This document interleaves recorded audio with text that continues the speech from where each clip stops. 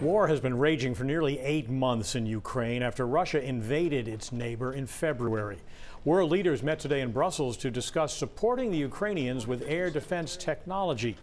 There are also millions of refugees around the world who need support.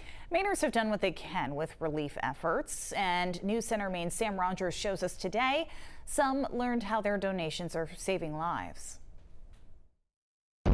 we have seen the most serious escalation of the war since the invasion in February. NATO Secretary General Jens Stoltenberg speaking after meeting with world leaders Wednesday. Meanwhile, Ukrainians continue to face attacks. Of course, we also have heard the veiled nuclear threats uh, coming from uh, Moscow. Moscow is far from the run of the mill in Saco, Maine. But this war is actually bringing people together. There's 1.4 million Rotarians in this world, and we just needed to band together in some way and come to the aid of these people. These Rotarians are part of the Biddeford Saco Rotary Club. In March, they connected with a fellow member from Romania and it's bordering uh, with uh, Hungary, Ukraine, Moldavia, Bulgaria, and Serbia. Dacian Coita spoke to these Mainers over Zoom the first time they met, asking for any support to help the people of Ukraine. Rotarians pick up the people who fall through the cracks. That's what we do the best. So it was an easy ask.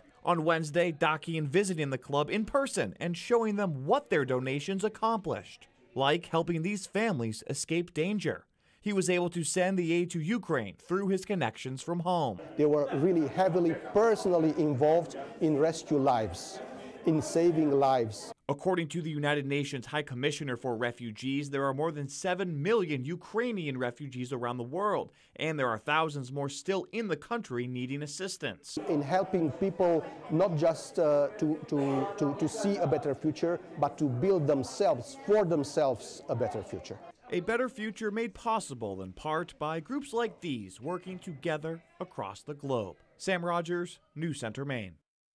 More than 50 countries were at that meeting today in Brussels. Back home, the Biddeford Saco Rotary Club will soon launch a Christmas present project to help families in need in our own backyard.